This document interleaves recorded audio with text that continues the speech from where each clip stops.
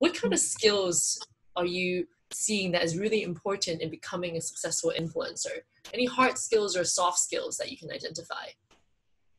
I would say being an influencer would touch every 21st century soft skills you would require. So, say, let's go down the list. Uh, creativity. Uh, creativity is definitely the key when uh, for you to become an influencer and for you to stand out among like the pool. Because you know the market is very saturated.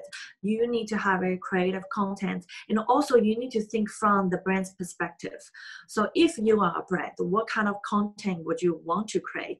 A lot of people nowadays they have a product and they hold it next to their face and they're like please use this. This is not a very you know influencing way of promoting that product.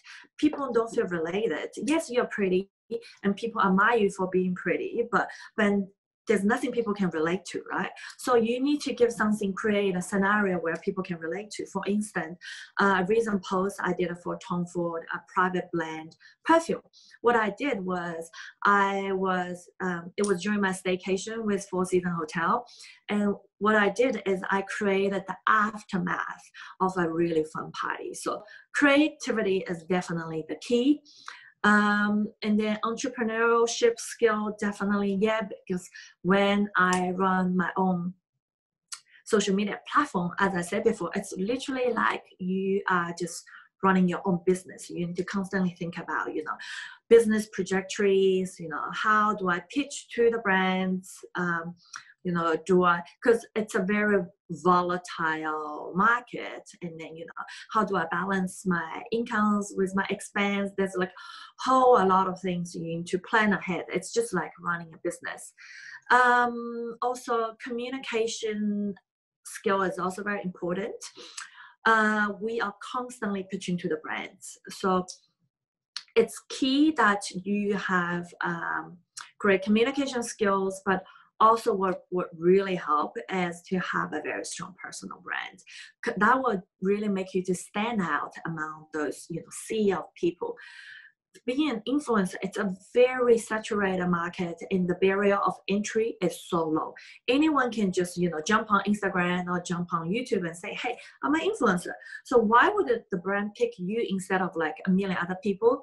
Having a very strong personal brand is very important help you to stand out from the crowd. And then what happens beyond that? And then once you've been picked it's just like the interview process. Once you've been picked you still need to pitch yourself right? There's still 10 other very strong influencers that's standing out there you need to compete against with them. So you need to have very strong communication skills which you pitch yourself. It doesn't matter whether you are like a lawyer a banker a ceo of a company or you're an influencer you know.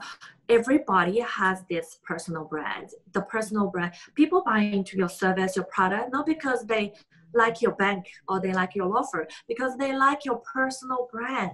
That's why they buy into your service or product. Without a strong personal brand, you get buried in the sea of ocean of just normal people normality right so having a strong personal brand will really make you to stand out and really will it will take your career to the next level ability to adapt and also having the right mindset you will definitely be able to do it if you put enough you know uh, energy and mindset and hard work into it.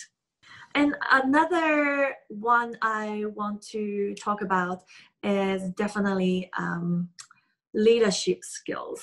So when, when you're working in a project and especially when you're traveling you're working with a number of different people having you know strong leadership skills and also critical thinking problem solving skill is very important because a lot of the time when we are shooting or when we travel things doesn't go as you planned. You need to be able to plan and lead and think and make quick decisions and calls because a lot of the time people are looking at you and waiting for you to make a call you know. So those are the very core soft skills we use every day and i can throw you more but those are the top ones i can think of